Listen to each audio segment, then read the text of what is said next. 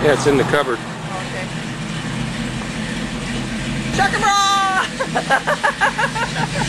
Have fun.